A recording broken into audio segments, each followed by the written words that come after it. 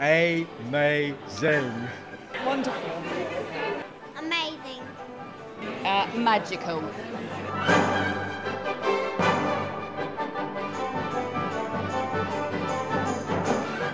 Oh, it's absolutely fantastic. It's wonderful, and it just gets you into the complete spirit of Christmas.